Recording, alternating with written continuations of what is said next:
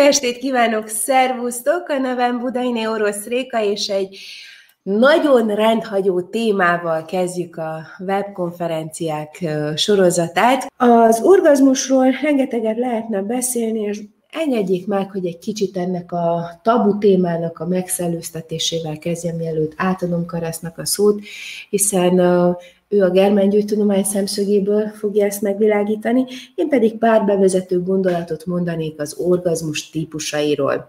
Tudom, hogy vannak olyanok, vagy és hát remélem, hogy nincsenek olyanok, akik most erre felkapják a fejüket, hiszen az orgazmus nem csupán egyféle lehet, tessenek megkapaszkodni, 11 féle orgazmust lehet megélni. Hogy mi ez a 11 féle orgazmus, a legegyszerűbb és a legjobban a köztudatba beívódott a, a klitoriális orgazmus, amely a nőknek kedvez ebből a szempontból.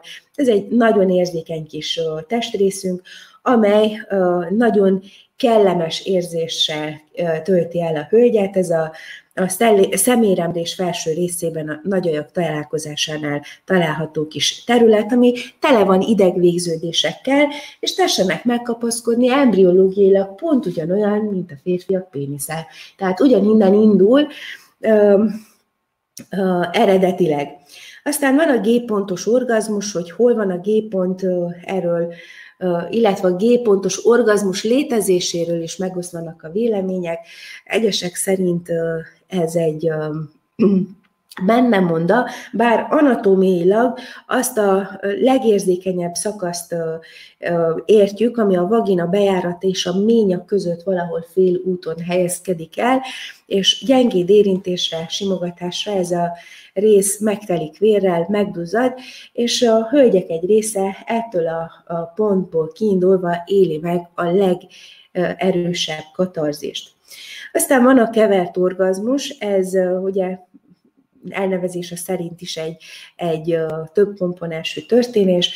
A megfelelő módon, megfelelő összhangban van a, a különböző erogén zónák izgatása, akkor egyszerre több helyen tudja megélni a gyönyört, a, a szexuális mámort, Például a hölgyek esetében a gépont és a klitoris területének együttes izgatása is már ehhez tud eljutatni. Van az onális orgazmus is, ezzel szemben igazán megosztottak a vélemények, egyes nőknek ez nagyon tetszik, míg mások még a gondolattól is írtóznak, hát ez ahányház annyi szokás, ahogyan a mondás mondja. Szóval a mély hüvei orgazmus az a megélés a hölgyeknek, amelyek, amely során a csikló környékének izgatásával jutnak el a csúcsra, és csak is ezzel élik meg a, a mély hüvely beni összehúzódásokat. Vannak olyan esetek is, amikor a női ejakulációról is kell beszélni, ez a spriccelő orgazmus, van a ményaki orgazmus, ez is egy nagyon nagy katarzist adó élmény, és hölgyeim, van a melbimbó orgazmusa is, hiszen nem csak a, a intim zónáink, erogén zónák, hanem ha igazán odafigyelünk egymásra, és a, a catch csináló előjátékban benne vagyunk úgy érzelmileg, mint testileg, akkor rájöhetünk arra, hogy az erogén zónánk az lehet a, fül, a fejünk tetejétől a lábújunkig, tehát attól függően, hogy mennyi érzelmi töltése van ennek, és igen, a, a melbimbóban is uh, uh, rengeteg idegvégződés van, amely szintén eljutathatja a hölgyet a szexuális mámorig. Vannak olyan orgazmusok is, amelyekhez nem szükséges partner, és még mielőtt valaki az önkielégítésre gondol, én nem erre céloznék.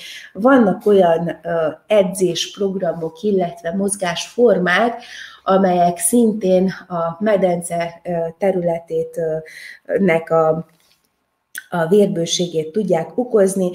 Ebben nincs tapasztalatom, de hogyha valakinek van olyan élménye, hogy edzés közbeni orgazmus, ezt megkérem, hogy ossza meg velünk. És hát ki ne élt volna meg orgazmust alvás közben, én azt hiszem, hogy kamaszkorunk egyik legnagyobb tapasztalata az, amikor olyat álmodunk, és ezeknek a kombinációi pedig a többszörös orgazmus. Azt hiszem, hogy felkeltettem eléggé a kíváncsiságot arra, hogy hogyan is alakul az orgazmus biológiai szinten, germánygyógytudományos szempontból, mi az, ami ezt kiváltja, milyen zónák érintettek egyáltalán, hogyan kapcsolódik a germánygyógytudomány az orgazmusról. Erről fog nekünk ma este kedvenc előadóm, dr. Budai László Károly, mindenki karesze, beszélni, de ahhoz, hogy a germángyógytudományról mégis legyen valami fogalmuk azoknak is, akik most csatlakoznak először erre a webkonferenciára, arra kérlek, Karesz, hogy az igazán erotikus bevezető után pár szót azért bevezetőül oszd meg a germángyógytudományról a hallgatóknak. Köszönöm szépen, Réka, ezt a, ezt a nagyon jó felvezető gondolatsort már közbe-közbe szerettem volna jelentkezni, hogy hadd szóljak közbe, hadd szóljak közbe, de nem szólok közbe, mert végül is mindaz, amit te elmondtál, ez benne lesz az előadásban, és meg fogjuk érteni, hogy miért van az, hogy van ilyen is, van olyan is, meg a kettő együtt, stb. Szóval megvan mindennek, amit elmondtál, a biológiai alapja. Úgyhogy... Lássuk. Lássuk. Nos, a germán most tényleg röviden fogok beszélni, pontosan azért, hogy a kérdésekre legyen elég idő válaszolni. Ugye tudjuk, hogy dr. Rikegert Hammer az a csodálatos kolléga, aki az egyetemi évei alatt nem csak medicinát, de teológiát is tanult, abból is diplomázott, és még 12 szemesztert fizikát is tanult, tehát itt egy olyan embert látunk, aki a világot minden szinten megismerte, természettudományos szinten, orvosi szinten és természetesen fizikai szinten is, és ugyanakkor egy fantasztikus feltaláló, aki a találmányai után már elérte azt, hogy biztosítani tudta a családjának a fenntartását, és orvos feleségével együtt eldöntik, hogy a térítésmentes gyógyítást fogják választani, és ezt pedig Olaszországba fogják gyakorolni. Nem megyek bele részletekbe, mert akkor, akkor tényleg nagyon elhúzódik az idő, de a jó hírem az, hogy éppen ma fejeztem be egy, egy összefoglalót, amiben benne van mind az öt természettörvény, mind pedig dokumentálva Hammer doktor élete, a különböző fontos események, amik vele történtek. Szóval lesz erről írott anyag is. A lényeg az, hogy ez a gyönyörű álom, ez 1978. augusztus 18-án tört darabokra, amikor is Hámer doktornak a 19 éves fiát, az olasz trónörökös, igencsak itt a állapotban, két pisztolylövéssel halálosan megsebesíti. Ez a 19 éves fiú alszik egy csónakba a Káváló sziget kikötőjében, míg a barátai bent a szórakozó helyen jól érzik magukat, tehát teljesen ártatlanul áldozata lett egy részeg ember lövöldözésének, és innen indul el a dráma. Hammer doktor 111 napig küzd a fia életéért, de december 7-én ez a e, csodálatos fiatalember meghal az apja karjai között. Ez 78. december 7-e. A két hónap múlva, 79. februárjában Hammer doktornak már heredaganatot diagnosztizálnak, plusz még a kollégák eh, a kivizsgálás során fölfedik, hogy hasi háttétei is vannak, ezt idézőjelben mondtam az áttétet, és természetesen a gyilkos már arra, arra drukkol, hogy hát ha Hammer doktor is meghal, mert akkor ezeket a kártérítéseket, meg az ügyeket el lehet simítani. Amúgy 13 évig tartott a per, és végül a gyilkost felmentették. Ennyit az igazságszolgáltatásról és a médiákról, aki a médiák mind a gyilkos mellett álltak ki. Szóval a lényege a mi esetünkben ennek az, hogy Hammer doktor az 1% túlélési esély ellenére is meggyógyul, és visszaáll dolgozni, és akkor egy ráklinikán, mint belgyógyász főorvos dolgozik, és a daganatos betegeket kikérdezi, és 200 esetben, minden esetben azt a választ kapta, hogy igen, a daganat megjelenése előtt ők is megéltek egy nagyon súlyos, váratlan lelki traumát, amiben nagyon sokáig benne ragadtak. Természetesen Hammer doktor ezeket a eseteket feldolgozza, német precizitással osztályozza, stb. És hát a közös tényező az az öt feltétel, ami mindegyikben előfordult, ami vele is megtörtént, a saját bőrén is megtapasztalta, és ezt az öt feltételt halott fia emlékére Dirk Hammer szindrómának nevezi el, ez a DHS. Ezek a kritériumok tehát arról szólnak, hogy egy váratlan, meglepetésszerű, hirtelen ránk súlyos lelki megrázkódtatás az, ami elindít bennünk egy, az agy közvetítésével egy szervi elváltozást, de csak akkor, ha magányosan éljük meg, tehát elszigetelten, elzárkózzunk, nem beszélünk róla, és benne maradunk a konfliktusba. Most kérem szépen, ez a két utolsó feltétel, ez csak tőlünk függ, vagyis már is itt van az első és legfontosabb megoldás arra, hogy meg se betegedjünk, legyünk szívesek az érzelmi konfliktusainkból kimászni. Nem viccelek, amikor azt mondom, hogy kettő perc alatt, mert lehetséges. Nyilván ehhez némi alaptudásra még szükség van, de legalább estére zárjuk le békével a napjainkat. Ha tudjuk jól azt az intő mondatot, hogy nem újjék el nap a te haragoddal. És ezt csak akkor fogjuk tudni lezárni, hogyha érzelmileg zárjuk le, tehát a megbocsátás, az empátia, a megértés, az elengedés, ez mind-mind hozzátartozik ahhoz, hogy valaki meggyógyuljon. Az első konzultációk között volt egy ilyen fantasztikus élményem, ami mind a két könyvemben benne van, a Lajos bácsi története. Ő csak annyit csinált, hogy megbocsátott annak, aki, aki őt kirabolta, nem is ismerte, és kérem szépen a vastagbér rákja ezennel meggyógyult. Tehát megbocsátás nélkül senki ne várja el, hogy meggyógyuljon. A haragunkkal magunkat fogjuk megbetegíteni. Tökéletes öngól, az aggódásainkkal magunkat fogjuk megbetegíteni, és nem folytatom. Tehát tessenek ez érzelmileg lezárni azt, ami érzelmileg mai nap is megrázott minket. Ha belemegyünk abba, hogy de miért élek én meg konfliktusokat, nem tudnánk mi konfliktusok nélkül élni, de hogy nem. Van erről is előadás, meg van arról is, hogy miért akad el a gyógyulásunk, csak ezeket meg kellene nézni. A weblapnak a YouTube csatornáján mind megtalálhatóak. Tehát a lelki megrázkódtatás a magyar nyelvnek a sajátossága. Itt valójában egy pszichés megrázkódtatásról van szó. Vagyis van egy félelem, mégpedig egy biológiai szintű félelmem, amire az okos agyam rögtön kitalál egy gondolatot. Örülnénk, ha csak egyet, mert minél intelligensebb vagyunk, annál sokrétűbb a megélésünk, és egy konfliktusból akár öt biológiai programot is el tudunk indítani. A lényeg az, hogy mind az öt megélésre lesz külön egy-egy biológiai válasz. És ez, ennek a lényege a félelem. A félelem viszont a biológiai testünknek a túlélő programja, mert a túlélés és a fajfenntartás az, amiért küzd minden élőlény kint az erdőben is, és bent a, a munkahelyen is. Csak kérem szépen, a konfliktus pillanatában rögzített körülmények, vagyis sinek emlékeztetni fognak minket, ha nem zárjuk le érzelmileg azt, amit érzelmileg elindítottunk. És akkor itt jön be az, hogy nem a sinekkel kéne foglalkoznunk, hanem a konfliktus érzelmi feloldásával. Az sineknek a rögzülése életmentő, az állatvilág ennek köszönheti azt, hogy túlél, mert nem megy még egyszer oda, ahol majdnem ö, megütötte a bokáját a valamelyik állat.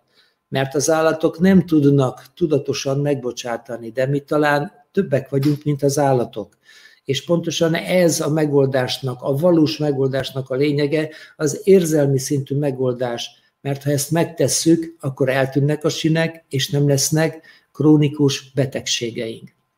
Rá fogunk jönni, hogy ezek a lelki megrázkódtatások az agy közvetítésével szervi elváltozásokat indítanak el, és ebből rögtön kiderül, hogy az ételmérgezések, a hiányos betegségek, a különböző, hát mit tudom én, paraziták által történt megbetegedések, azok nem fognak ide tartozni, se a, se a sugárkezelés, a kemoterápia, vagy az orvosi műhibák. Ezek nem tartoznak ide, ezeknek nem, ezeknek nem is lesz az agyban lenyomata. Ezeket azon a szinten kell megoldani, amelyik szinten keletkezett. Tehát ha valaki bolhás, akkor azt azon a szinten kell megoldani. Az nem lelki megrázkódtatás miatt jelenik meg a bolha. Gondolom ezzel mindenki egyetért. És az se lelki megrázkódtatás, hogy valaki romlott ételt teszik. Szóval a lényeg az, hogy ezek az érzelmileg elindított programok egy értelmes biológiai külön programot indítanak el. Igen, értelmes, mert minden ilyen programnak az értelme a túlélés és a faj fenntartása, és külön program, ne feledjük, különben nem indul el, csak ha mi benne ragadunk a konfliktusban. Ezért mondom még egyszer, nem újjék el nap a te haragoddal, és akkor nem lesz semmi, de semmi következménye annak se, amit ma váratlanul meglepetésszerűen megéltünk. És a következő nagyon fontos dolog, hogy mindig a történetekkel vagyunk elfoglalva, de nem a történet betegített meg minket, hanem az, amit a történet kapcsán megéltünk. Ezt viszont mindenki csak maga tudja elmondani, és mindenkinek a saját megélése lesz az egyetlen valóság abban a pillanatban. És a szexuális frusztrációs konfliktust él meg valaki, mert hazamegy a hölgy és a párját egy másik nővel találja az ágyban, hát akkor természetes, hogy a ményag fog erre reagálni a nőgyógyászatról, tehát a női biológiai programok idegi és hormonális szabályozása című előadásban ezt részletesen kifejtem és megértjük.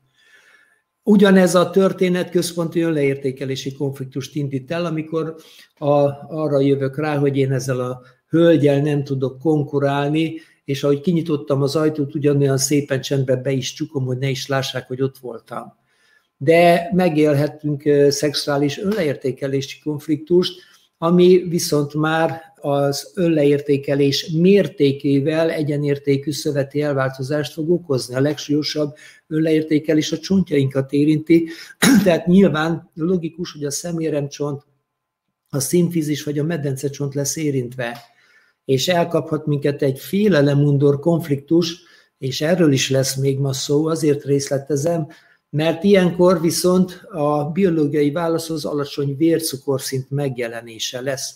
A birtok kijelölési konfliktus is megjelenik egy ilyen történetben, mert nem tudom elviselni azt, hogy az én házamban történik mindez, és ki akarom jelölni azt a területet, hogy ez vissza nem az a hely, ahova a barátnőket behordjuk, és tessék innen elhúzni, és ugye egy szép olasz filmet rendeznek ottan, és repülő csészealjak távoznak az ablaküvegen át. Szóval ezek a történetek is, ha nincsenek feloldva és lezárva, biza krónikus betegségeket fognak okozni. És az utolsó pontban megint emlékeztetnék mindenkit a lényegre, ha nincs konfliktus, nincs betegség.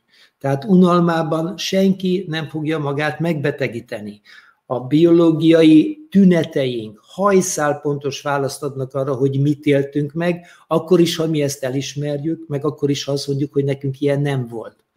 Lehet kérem szépen nagyon sok mindent mondani, a, annyira intelligensek, annyira olvasottak vagyunk, annyi gondolat van az agyunkban, hogy elképesztő, de a biológiát nem lehet átverni és mindenki számára az egyetlen megélés, az egyetlen valóság a saját megélése, amit ezt mondtam, és ebből következik, hogy nem tudjuk a beteget meggyógyítani nélküle. Nem tudunk semmit sem tenni nélküle, sőt, ő gyógyítja meg magát, ha hajlandó a pokolból vezető utat végigjárni, ha hajlandó a negatív gondolatait pozitív gondolatokra cserélni, mert azért, bocsánat, a gondolatainkat már éppen kéne tudjuk irányítani, főleg, ha ehhez kapunk némi indikációt, és a pozitív gondolatok mögött megjelennek a pozitív érzések. Igen, ha megengedjük. A második természettörvényt nem sokkal az első után fedezi fel Hamer doktor, amit itt látunk, ezt nevezhetjük Hameri iránytűnek is. Ez grafikusan ábrázolja azt, hogy mi is történik a DHS becsapódása után. Itt látjuk az első függőleges vonalon, föl is van tüntetve a DHS, és ez azt jelenti, hogy kibillenti azt a váltakozó idegrendszeri állapotot, ami normális esetben mindenkire jellemző. Nappal a szimpatikus, éjszaka a paraszimpatikus idegrendszer túlsúlya, és ha megtörténik a becsapódás, hát akkor nem azt kell tudjam, hogy most szimpatikus vagy paraszimpatikus idegrendszer, nem kell ezzel foglalkozni, hölgyeim és uraim, mindenkinek volt már stresszes az élete, mindenkivel történt valami olyan, amiben benne ragadt, és akkor mi is volt a tünete? Jaj, nem tudott elaludni, mert zakatolt az agya, éjszaka is felébredt, még éjjel álmában is a, azzal a bizonyos ügyjel foglalkozott. Nem volt étvágya, nem evett, rendesen lefogyott. Aztán ketyegett a szíve rendesen, és emelkedett a vérnyomása. Hideg volt a keze, hideg volt a lába, ezért van a konfliktus aktív szakasz kék színnel jelölve. Nagyon-nagyon fontos, hogy ez minél rövidebb legyen. Lehetőleg ma este zárjuk le mert ha ez megtörténik, a konfliktus megoldása megtörténik, akkor jön a megoldást követő MK fázis. És amit látjuk, itt megjelenik a piros szín, mégpedig kétszerés. Az első az exodatív fázis, amikor is a gyulladásos tünetek jelennek meg, és mit ad Isten, amikor elkezdek gyógyulni, na ezt nevezi ki az akadémikus medicina betegségnek. És kezeljük, hogy meg ne gyógyuljon a beteg. Szóval az exudatív fázis tényleg kellemetlen, mert gyulladásos tüneteket okoz, sőt fejfájással jár, mert az exudatív fázis a szöveti folyadék felszaporodását, az exudátum felszaporodását jelenti. Egyszerűen vízről van szó, kérem szépen, és ez nem csak a szöveti szinten, hanem az agyi szinten is felszaporodik, és ezért lesz fejfájások. Nos, a gyulladás tüneteit már a középkorban leírták, a rubor, tumor, calor, dolor funkció léze, ezt minden hallgató már tudja kívülről szerintem, és ugye ez csak annyit jelent, hogy piros lesz az adott érintett terület, a duzzanat is megjelenik rajta, ez a tumor, meleg is lesz, ez a kálor, fájdalmas is lesz ez a dolor, és nem fog rendesen működni, vagyis funkció lézár. Igen, a meleg az azt is jelenti, hogy lázam van, hogy hidegrázásom van, és megjelenik az éjszakai izzadás egyes programoknál, hogy háromszor kell lepedőt cserélni. Ezek mind-mind a gyógyulásnak a tünetei. Hú, ha el tudnánk fogadni, hogy éppen gyógyulunk, vajon mi lenne? Akkor nem akasztanánk el a gyógyulásunkat már az exodatív fázisba, Következik az epileptoid krízis, és ez nem véletlenül ilyen magas, mert itt éljük meg a legdurvább tüneteket. De vajon mitől? Vagy kérdezem azt, hogy kitől függ, hogy mennyire fogunk szenvedni az epileptoid krízisben. Hát csak tőlünk függ ez is. Akár mennyire is kellemetlen a hét, csak tőlünk függ. Mert sokat ülünk a konfliktus aktív szakaszba, akkor erősek lesznek itt a tüneteink, és mindenféle görcsök, hasigörcs, vesegörcs, epegörcs, mindenféle egyéb komplikációk, mondjam így, mint mélyvénás trombózis, szívmegállás, tüdőembólia, stb. Tehát ez vérzések. Szóval ezt jó lenne elkerülni, és csak úgy tudom elkerülni, ha ma is lezárom békével a napjaimat.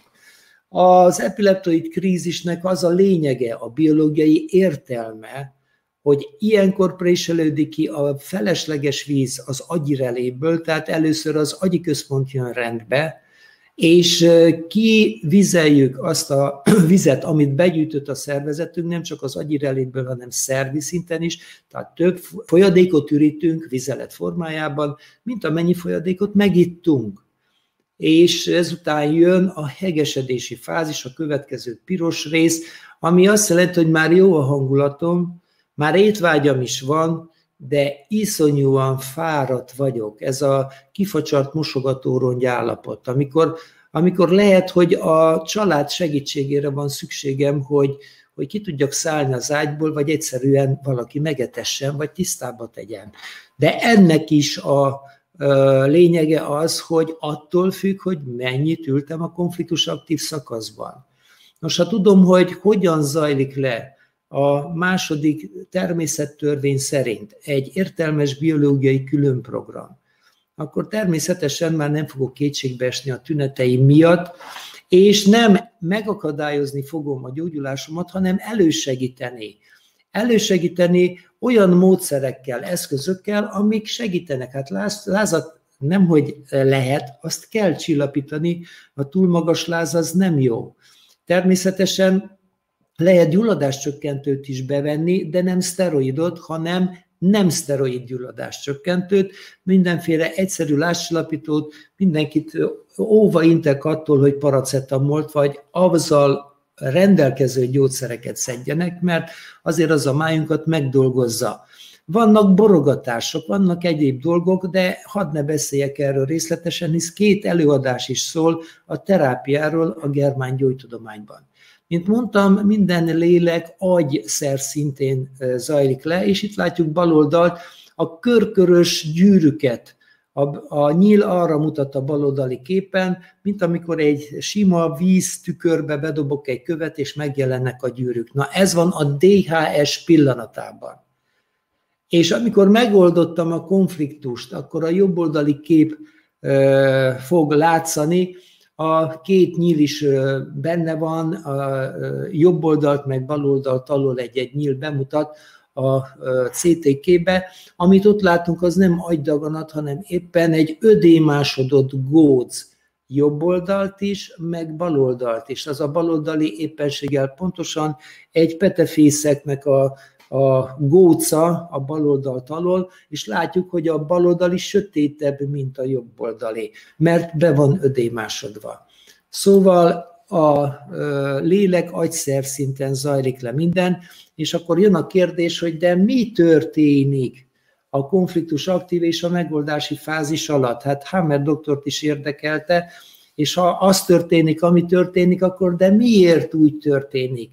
Mert ha visszamegyünk három éves gyerek kíváncsiságába, akkor ez mindenkiben felvetődik ez a kérdés, hogy, hogy de oké, okay, de mi van akkor, mi történik ott? Hát a válasz egyszerű, mert sejtekből vagyunk felépítve, amelyek működnek, tehát a túlélés érdekében a konfliktus aktív szakaszban vagy sejteket szaporítok, vagy sejteket sorvasztok, vagy működést változtatok, ahogy látjuk ezen az ábrán alul. Az agytörzs, tehát vannak különböző idegi központok, mindjárt látni fogjuk, az agytörzs és kisagy által irányított programokban mindig sejtszaporítással indul a túlélő program, és a megoldásban lebontjuk a felesleges sejteket, a bennünk élő segítők által természetesen. Aztán az agyvelő és agykéreg által irányított programokban először sorvasztjuk a sejteket, majd visszaépítjük, és az agykéreg képes arra, hogy ne csak a sejtekkel, hanem a sejtek működésének fékezésével, gátlásával, visszafogásával is elindítson egy túlélő programot, és a működést helyreállítsa a megoldás követő fázisban, mondjuk ha egy szklerózis multiplexről beszélünk, mert az is gyógyítható. Tehát láthatjuk ezt a négy idegi központot, a felső kettő, vagyis anatómiailag az alsó kettő, az agytörzs és a kisajt, együtt az ős agyat alkotják. Tehát az ős agy által mindig sejt plusz indul be, ami aztán sejtek lebontásával folytatódik a megoldásban. Az agyvelő és az agykéreg alkotja a nagy agyat, aminek van kérgi meg velő része, ugye, a nagy agyból mindig a sejt sorvadás indul el, és a visszaépítés a megoldási fázisban. Ez teljesen logikus, és teljesen egyszerű, nem kell egyetemi végzettsége legyen valakinek ahhoz, hogy ezt megértse. Remélem azoknak is világos, akik először vannak itt ezen a webkonferencián. A betegségek kialakulásának a megértése az akkor lesz számunkra tiszta, ha megismerjük, hogy hogyan is fejlődött ki a megtermékenyített petesejtből a testünk, és ezzel foglalkozik az embriológia, vagyis azt vizsgáljuk, hogy az egyet hogyan fejlődött ki a megtermékenyítéstől a születésig. Baloldalt látjuk a három csíralemezt, egyik és másik metszetben, sárga, narancs és piros színekkel jelölve, és a nyilak mutatják azt, hogy nagyjából milyen szervek alakulnak ki, és ebből adódik az is, hogy milyen konfliktusok lesznek azok, amik beindítják ezeknek a csíralemezekből származó sejteknek a számbeli változását. Ott vagyunk tehát, hogy a sárga színnel jelzett nyilacska a tápcsatornára mutat, és a sárga színnel ugye az agytörzs van befestve a nyílirányú metszeten. Az agytörzsnek a harántmetszeti képét legalul jobb oldalt látjuk. Nos, a falat konfliktusok tartoznak ide, mert minden, ami a túlélésemhez szükséges, azt meg kell kapja, mint egy falatot. És itt a saját túlélésemről van szó. És ezért a sejtszaporítással fogom megoldani azt, hogy táplálékfalathoz jussak, ez a tápcsatornát érinti, sejtszaporítás ügyében, ahhoz, hogy vízfalathoz jussak, ez a vesét fogja érinteni, ahhoz, hogy levegő falathoz jussak, ez a tüdőt fogja érinteni, a fényfalat megszerzése nyilván a szivárványhártyát, a hangfalat megszerzése pedig a középfület. Nem részletezem tovább, mert a falat konfliktusokról külön webkonferenciát nézhetünk meg. A kisagy sejtjei már a mezodermából, a középső narancssárga színnel jelzett csíralemezből származnak, és hát ez a csíralemez sejtjei két irányba differenciálódnak, az ősi mezoderma sejteket az kisagy fogja irányítani, az új mezoderma sejteket pedig a nagyagynak a fehér állománya. Nos, maradjunk a kisagynál, és mivel tudjuk, hogy ez is ős agy, itt is sejtszaporítással indul a program, mit kell ehhez megéljünk, vélt vagy valós támadásokat, vagy gondozási konfliktust, ami annyit jelent, hogy túlzásba vitaggódás, ez a gondozási konfliktus. Ez a mell tejtermelő sejtjeire fog hatni, a reléjét a középső szélső képen látjuk harátmetszetben, a két kék színű csillag jelzi a két mellnek külön-külön azt az idegi központját, ahova a túlzott aggódás miatt egy ilyen félelemérzés becsapódik, akkor válaszként elindul az adott melben a sejtszaporulat. Mellről két webkonferencia nézhető meg. A vélt vagy valós támadásokat is összefoglaltam külön webkonferenciában. Itt mindig az írha sejtjeit, illetve a burkokat fogjuk felszaporítani, és elég, nem kell megverjen engem valaki, elég, ha csak félek attól, hogy megvernek, már indítom is a sejteknek a szaporítását, nyilván a túlélés érdekében. Amint mondtam, a középső csiralemez másik sejtcsoportja, az új mezoderma sejtjei, az agyvelő vagy fehérállomány irányítása alá tartoznak, a két felső metszetből a baloldali kép az, ami mutatja a kuponyalappal párhuzamosan készült koponya CT-nek a grafikus ábrázolását. Természetesen a CT nem narancssárga, meg piros színeket fogunk látni, hanem, amint látunk, csak szürkét. Önleértékeléssel kapcsolatos konfliktusaink csapódnak mind ebbe a, az érdekes agyi részbe, a fejünk tetejétől egész a kislábunk ujjáig a testünk minden részének megvan a képviselete ezen az agyi szinten, a fehér állományban, és az önleértékelés önpusztítást jelent, nem csak érzelmileg, hanem sejtszinten is. Az önleértékelésnek az ereje megmutatja, hogy milyen szöveteket bontunk, az önleértékelés témája pedig meghatározza, hogy a testünknek melyik részét fogjuk lebontani. A két bejelölt csillagottan, a kék és a bordó, az épp a vállakra vonatkozik, tehát ha valakinek igen erős lelkiismeret furdalása van, akkor minden fájdalom nélkül bontja a vállait, de amikor ezt megoldja, akkor ne csodálkozzon, ha elkezd fájni a válla, és az epileptoid krízisben úgymond teljesen begörcsölnek az izmai, ezt mondják, hogy befagyott váll, és ugye akkor megyünk orvoshoz, hogy szurkálja körbe a vál izületet, meg az izmainkat, hogy meg tudjunk moccani, mert fájdalommal jár az epileptoid krízis utáni állapot. A piros színnel jelzett csíralemez, a külső csíralemez, és ez a piros baba, amire a piros nyíl mutat, az elválasztási konfliktusokat ábrázolja számunkra. Itt mindig arról van szó, hogy nagyon szeretném, vagy nagyon nem szeretném valakinek a közeledését, ugye, vagy valakitől való elszakadást. És ez a bőrünknek a legfelszínesebb részét fogja érinteni, ez ugye több rétegű elszalosodott laphám, és ugye ez már a bőrbetegségek kategóriájába fog tartozni, de külön az elválasztási konfliktusokról és a bőrbetegségekről is van külön webkonferencia.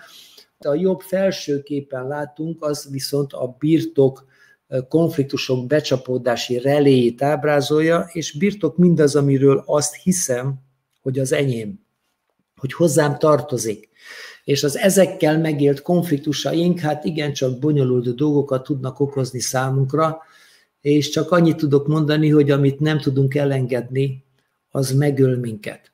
Nos, ezeket a webkonferenciákat mindenki megnézheti konfliktus típusok szerint. Most mennék tovább, hogy megértsük, hogy hogyan tudjuk mi a krónikus betegségeinket kialakítani. Ugye nem tartjuk be az első fontos üzenetet, nem újjék el nap a te haragoddal. A felső képen azt látjuk, hogy még mindig haragszik valaki, még mindig gyűlölködik, még mindig aggódik. Ez akkor a konfliktus tömeg, amire a megfelelő biológiai választ megkapjuk, sejt szaporítás, sejt sorvadás, vagy éppen működés változással, és ez azért életveszélyes állapotokat tud létrehozni.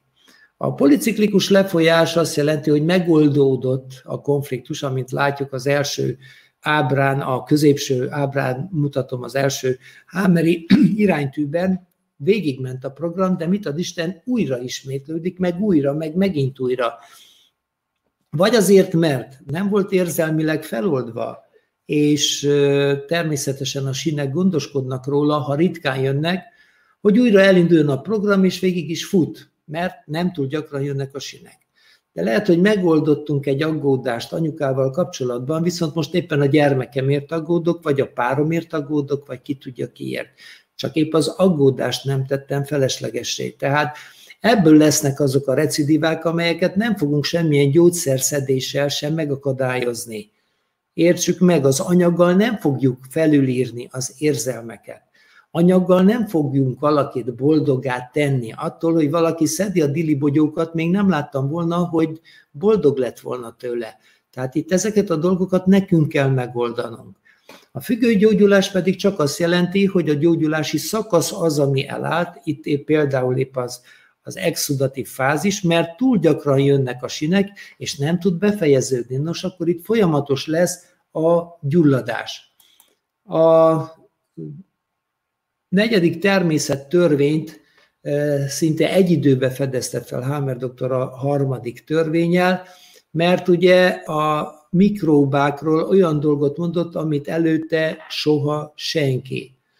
Tisztázzuk ugye, hogy a bennünk élő gombák, baktériumok, gombabaktériumok és vírusok, azok a mi segítőink, nem az ellenségeink, de ezt már Louis Pasteurnek is megmondta Antoine Béchamp, kortársa, csak éppességgel Pasteurt megtámogatták komolyan, hogy folytassa a kutatásait, és akit megtámogat, tehát aki a pénzt adja, annak elvárásai vannak, hogy mit kéne bebizonyítani. Ez mai napig így megy a kutatásban. Ami nem azt bizonyítja, amit szeretnék, attól megvonjuk a pénzt, és a kutatás leáll. Csak mondom, mert dolgoztam kutatásban is. A lényeg az, hogy megértsük, hogy a bennünk élő gombákról gombabaktériumokról, baktériumokról és vírusokról beszélek. Ezek csíra lemezhez kötötten segítenek. És itt van Hammer doktor nagy felfedezése, hogy a gombák és a gombabaktériumok mindig a lebontásban fognak segíteni a falat, konfliktusok megoldása után, a túlzásba vitt aggódás, vagy a vért vagy valós támadások következtében történt szövetszaporulat lebontásában. A lebontott sejtek nem a kukába kerülnek, hanem bekerülnek egy biológiai reciklingbe, újrahasznosítás, és ennek első állomása pont a környéki nyirokcsomag. Tehát ha valakinek van egy gyulladt területe, egy duzzanata, és a környéki nyirokcsomó is duzzad, akkor ugye tudja, hogy éppen gyógyul, és az nem áttép. Az agyvelő és agykéreg által irányított programokban, tehát az önleértékelés, elválasztási és birtokkonfliktusokban a baktériumok és illetve a vírusok lesznek a segítőink, és ezek is el tudnak szaporodni, ha természetesen függőgyógyulásban maradunk. Tehát itt még minden fertőzésnek nevezett történetet meg tudnánk oldani, ha lezárnánk végre a programjainkat. A baktériumokat találtak a daganatokban, mit ad Isten, Hammer doktor ezt 87-ben leírta, de 2020 május 29-én közölték, és ezt azért közlöm én is, hogy lám milyen megkésve reagál a tudomány arra, amit Hammer doktor fölfedezett. Természetesen, ha mindent elfogadtak volna, amit Hammer doktor eh, fölfedezett, akkor már másképpen kéne a medicinát tanítani, és csökkenne a gyógyszeriparnak a bevétele, úgyhogy nyilvánvaló innentől kezdve az összefüggések és a végkifejletek hát érthetővé válnak. Szóval ez a, az új rákterápia, ez biztos, hogy azért lesz így kitalálva, hogy leváltsák a kemoterápiát, de a baktériumokat eddig is illet volna felfedezni, és nem, nem éppen egy ilyen kiváltságos úriembernek kellett volna ezt észrevennie, szerintem ezt többen is észrevették, de ismerve Hammer doktor elleni hadjáratot senki nem merte beismerni. Az ötödik természettörvény mindenki számára felfedezhető, ha reggel kinéz az ablakon, vagy éppen aki a, a tengeren túlon van, az most is kinézhet az ablakon, és azt látja, hogy minden, ami él, az élni akar. És ez az, amihez nem kell sem statisztika, nem kell se kísérletet végezni, egyszerűen ez egy egyszerű megfigyelés. És hogyha ebbe bele tudunk nyugodni, hogy ami él, az élni akar, és a túlélésért és a fajfenntartásért dolgozik minden élőlény, függetlenül, hogy növény, állat vagy ember, akkor azt is tudhatjuk, hogy nincsenek rossz indulatú betegségek, csak rossz indulatú emberek. Nincsenek értelmetlen betegségek, csak az az értelmetlen, hogy benne ülünk a konfliktusban. Tehát ez, ha megnyugodnánk, hogy nincsenek rossz indulatú, ismeretlen, meg gyógyíthatatlan betegségek, akkor nem kapna el minket a pánik. És itt vagyunk a sok bizonyítási eljárás közül, azért a legkiemelkedőbb a Pozsonyi Egyetemhez tartozó Nagyszombati Egyetemnek a, a, az igazolása, Trnávai Egyetem, ugye, és ez 98. szeptember 11-én történt. Tényleg egy egyetem ismerte el azt, hogy Hammer doktornak igaza van, és innentől kezdve vajon miért nem ezzel foglalkozunk. A Tübingeni Egyetem, ahol Hammer doktor végzett, és ahova ő beadta a felülvizsgálatra a téziseit, nem volt hajlandó foglalkozni ezzel a témával, még akkor sem, hogy a bíróság erre külön kötelezte. Tehát ez a nagy helyzet, kérem szépen, hogy a történetnek a, a lényege itt akad el. És ezért nem jutunk el egyről a kettőre, mert ha itt beigazolódnak, hogy mi van és hogyan van, akkor természetesen nem lehetne azt végezni, azt csinálni, ami pillanatnyilag történik. Nos, akkor eljutottunk az orgazmushoz, a mai nap témájához, és amint látjuk, ez is a második természettörvény szerint történik. Itt van a Hámeri iránytű, és vajon miről is szól ez az egész? Mind megint a második természettörvényről beszélünk. Ugye itt nem DHS van, hanem mi történt? Hát találkozott a tekintetünk. És abban az esetben, amikor ez megtörténik, ugye, hát akkor mindenkit elkap egy kellemes érzés. Nem egy, nem egy negatív érzés fog minket egy félelem elkapni, hanem egy vágy. És hát ameddig tipródunk azon, hogy ez megvalósuljon, ugye, addig izgulást tölt el mindenkit, és hideg a keze, hideg a láb, ez a konfliktus aktív szakasz. Aztán végre megtörténik a beteljesedés. És elkezdődik a szerelmi játék, ez itt már az exodatív fázis, az első piros része a Hámeri iránytűben, amikor igen, erre időt kell adni, ahogy ezt Réka is kifejtette, egymás felfedezése, egymással való játék, és ami azt jelenti, hogy minden szabad, ami mind a két embernek kellemes, és semmi olyat nem szabad csinálni, ami a másik embernek kellemetlen.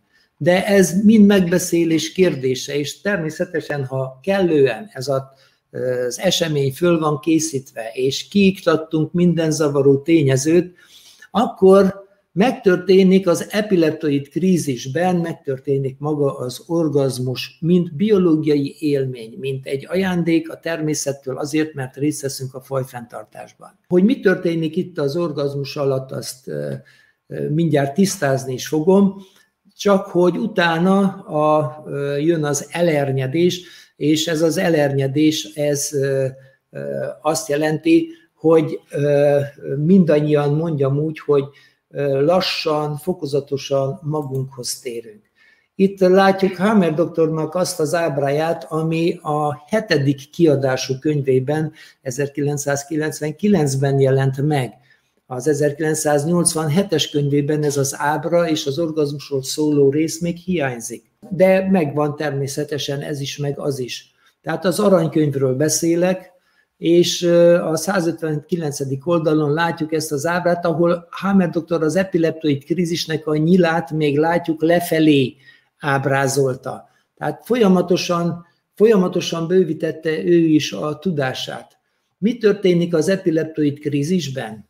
Nincs külön jelölve itt még minden relé, egybe van húzva az összes relé, mert igen, egy hatalmas élmény nem csak a középső szexuális központokra hat, hanem a szomszédos központokra is, és ezért lesz az, hogy ha a baloldali női relében történt meg ez a fantasztikus élmény, akkor a Géger relé fölötte van, és ennek az izgalma miatt kapkodó lesz a légzés, tehát levegő utáni kapkodás, mert szűk a levegőben meneti nyílása, az alatta levő relé, tudjuk jól, hogy az a, a végbélnek a reléje, és alatta van a hólyag reléje, ezeknél is megtörténik maga a ingerület átadás, és itt beszélhetünk arról, hogy végbél orgazmus, de ezt majd még részletezem. Ha a jobboldali félbe, tehát a férfias birtokzónába történt meg az orgazmus által kiváltott érzésnek a becsapódása,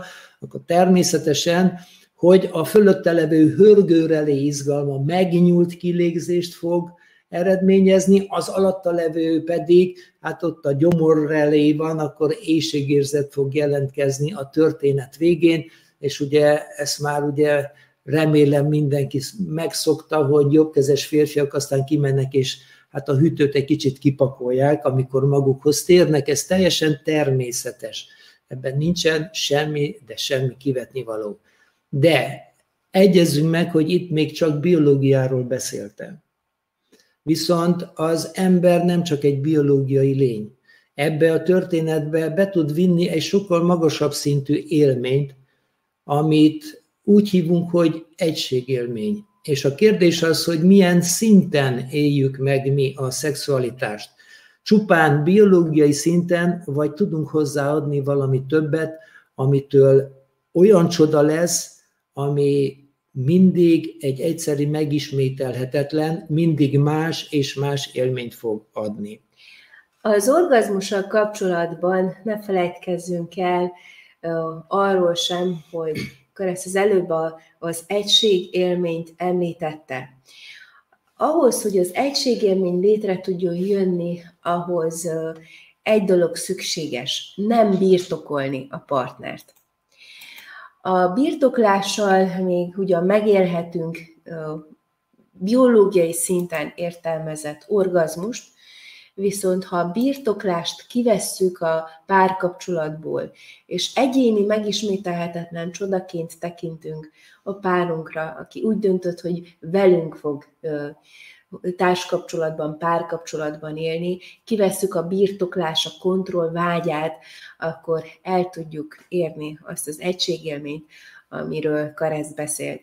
Erre jut eszembe egy kedvenc Coelho idézetünket szeretném megosztani, ha megengeded a, Természetes. a kedves hallgatókkal. Coelho a következő módon ír a szerelemről. Egész életemben úgy gondoltam, hogy a szerelem egyfajta önkéntes rabszolgaság. Ez hazugság. Csak akkor van szabadság, amikor szerelem is van. Aki teljesen át tudja magát adni az érzésnek, aki szabadnak érzi magát, az szeret igazán. És aki igazán szeret, az szabadnak érzi magát. A szerelemben senki sem bánthatja a másikat. Mindannyian felelősek vagyunk azért, amit érzünk, és soha nem hibáztathatjuk a másikat emiatt. Csak most döbbentem rá, hogy egészen eddig őt vártam már napok óta. És ebben a pillanatban egyszerre elfogadott mindent, amit a sors rendelt neki. Nem panaszkodott, inkább örült, hogy megengedheti magának ezt a fényűzést. Mert tudja, hogy ennek a szerelemnek nincs jövője, de mivel nem vár tőle semmit, csak nyerhet vele. Ez a történet, ez a Paulo Coelho 11 perc című könyv azért is kedves számunkra, mert ezt egy hosszabb utazásunk során olvastam fel Karesznak, és egy reménytelen szerelmi történetről szólt, ahogyan említette is, vagy ahogy az idézetben volt, nem lehet az övé, nincs jövője, nem akarta birtokolni, nem akarta megváltoztatni, irányítani, eldönteni a közös irányt, nem akart helyette döntést hozni, és abban a pillanatban, amikor megengedjük a társunknak, hogy az legyen, aki abban a pillanatban lenni tud, úgy, ahogyan van, abban a pillanatban teljesen szabaddá válik ez a kapcsolatokban megélhető szabadság.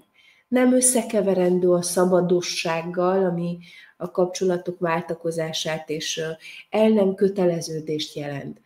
A szerelem ebben a szemszögben tekintve az, az a fajta elköteleződés, amelyben nincs megkötve a másik keze, amelyben szabadon élünk egymás mellett, szabadon felvállalhatjuk önmagunkat, nem kell állarcokat, maszkokat hordani, nem kell viselkedni, nem kell megfelelni, nem kell a szavakat átgondolni, megfontolni, átrágni, pillanatot, megfelelő hangulatot keresni az érzések közlésére, hanem felvállalhatom önmagam a párom előtt pont olyannak, amilyen aznap lenni tudok. Abban a pillanatban. Abban a pillanatban. Ez így igaz. Ez adja meg azt a szabadságot, azt az érzelmi biztonságot, amit mi keresünk. Hogy tudom, hogy bármilyen lehetek, bármilyen morcos, bármilyen bűbájos, bármilyen hisztis, bármilyen nyugodt, bármennyire élhetek az anyagban, bármennyire lehetek spirituális, a társam előtt lehetek az, aki vagyok. Tudom, hogy nem ítél el, nem címkéz meg, nem fordul el, nem um, akar megváltoztatni, nem akar rajtam uh, különböző fogást keresni, nem fog sarokba szorítani, hanem elfogadja az aznapom pont olyannak, amilyen vagyok. És nem rója föl, hogy tegnap milyen voltál, és egy fél éve milyen voltál, és az előtt mit csináltál, mert lezárjuk békével a napokat, és, és megadjuk minden nap egymásnak a fehér lapot, a tiszta lapot, tiszta lapot hiszen minden, minden nap tiszta, nap tiszta lap. Így van. Ha minden nap tiszta lap alapon működünk, ez nagyon sok ember számára lehet félelmetes, hiszen akkor hogyan tudom kieszközölni azt az előnyt, azt a juttatást, azt a mm, picike kis jót, amit én kárpótlásként kérek, várok amikor a kapcsolatban elkezdjük mérlegelni, hogy ki mit ad, ki mit tesz bele, ki milyen módon járul hozzá a közöshöz, akkor különböző problémák, konfliktusok lehetnek. Az ilyen jellegű kapcsolat csak akkor tud működőképes lenni, hosszú távon, ha mindkét fél így gondolja. Az egyoldalú, csak én adok, és soha nem, nem kapok ebből, ebből vissza, tehát én mindig elfogadom olyannak, amilyen, de ő, meg nem. de ő engem nem, ez nem a hosszú távú, boldog, kiegyensúlyozott kapcsolat titka. Én arra szeretném a kedves hallgatókat felhívni, hogy beszéljék át a kapcsolatukban megjelenő helyzeteket, előítéletek, vádaskodás nélkül, nyitott szívvel. Mondjuk ezt el úgy a párunknak, ahogyan mi szeretnénk ezt hallani. Ahogyan nekünk is jó lenne hallani. Hiszen abban a pillanatban, amikor kiássuk a csatabárdot, és elkezdjük a jegygyűrűtől, meg anyád mit mondott, meg ki volt az esküvőn, történeteket, innentől fogva azt hiszem, hogy nagyon messze kerülünk a megoldástól, és nagyon messze kerülünk a párkapcsolat harmóniájától is. Engedtessék meg még egy mondatot hozzáfűzni az eddig elhangzottakhoz. A weblapon van egy négy részes párkapcsolati krízisek című, párkapcsolati konfliktusok című előadás sorozat négy részből áll. Igyekeztünk azokat a párkapcsolati konfliktusokat felsorakoztatni, amelyek a leggyakrabban fordulnak elő. Biztos vagyok benne, hogy nem ismeretlen eseményeket fognak ott hallani, hiszen ezek a hétköznapokban megélhető konfliktusokról szólnak. Ha szabad egy tippet adnom, akkor a negyedikkel tessenek kezdeni, kevcsinálóként. Érdemes lenne a kedves férjünket, párunkat, feleségünket leültetni, nézzük ezt meg, miről szól. Azt hiszem, hogy abban a pillanatban, amikor két emberben közösen megjelenik a szándék, ha már így együtt vagyunk, 10, 20, 30, 40 és akárhány éve, ha már egyszer hoztunk egy döntést, hogy mi együtt folytatjuk az életünket, bárhogyan is áll ez a kapcsolat, mindkettőnk felelőssége az, hogy ezt a lehető legharmonikusabbá tegyük. Ez a karbantartás, ami nélkül semmi nem működik. Ha egy házat nem tartanak karban, az meglátszik, ha egy autóra nem figyelnek oda, az is meglátszik, és ha egy kapcsolatot nem tartanak rendbe, akkor jönnek a képmutatások, és a kívülre vágjuk a amerikai mosolyt, és aztán belül meg minden rohad. Nos, amikor megszabadulunk minden félelemtől, elképzeléstől, és így jelen vagyunk a pillanatban, és így megyünk be a szentélybe, a hálószobába, akkor olyat tapasztalunk meg, ami túlmutat a biológián, és ez nincs időkorláthoz kötve. Vagy mondjam másképp, ez akkor nem 11 perc.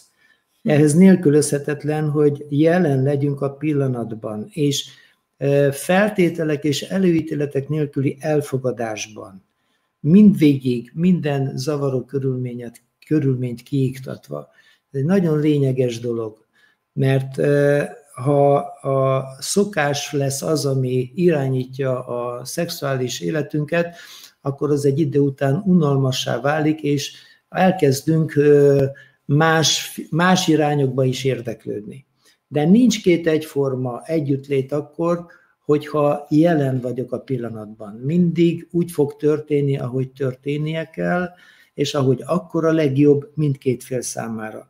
Tehát én ennyit tudnék, hogy is mondjam, jó tanácsként átadni, mert ha nincs konfliktus, nincs betegség, de ahhoz, hogy ezt megéljük, hogy idáig eljussunk, ahhoz biológiai szinten is meg kell szabaduljunk azoktól a dolgoktól, amik akadályozzák ennek a létrejöttét. Említetted a zavaró tényezőket, meg hogy kikacsintunk a kapcsolatból. Nagyon gyakran ezek a kikacsintások nem is valósulnak meg a fizikai világban. Gondolok itt azokra a fantáziákra, amiket nők, férfiak egyaránt elképzelnek, hogy mi, mit lenne jó megtapasztalni. És uh, én azt hiszem, hogy bár most egy személyben képviselem a webkonferencián a, a női minőséget, de talán a hőtagok megbocsátják azt, a, ha kifecsegem a titkot, hogy nekünk is vannak fantáziánk, hogy mire vágyunk, hogy mit szeretnénk. Nem feltétlenül kell egyből valamilyen aktus mozzanatára gondolni. Néha egyszerűen csak jó lesne odabújni. Jó lenne, ha, ha um, védelmet éreznénk egy, egy férfi karjaiban. Egy Ezeket a, a dolgokat viszont nem mondjuk el, mert hát ő a férfi, és hát találja ki.